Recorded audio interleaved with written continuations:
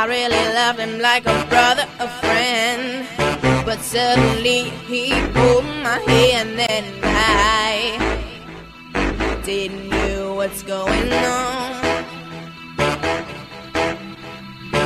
He looked me deep in the eyes and said that this is no lie. He's love me for such a long time.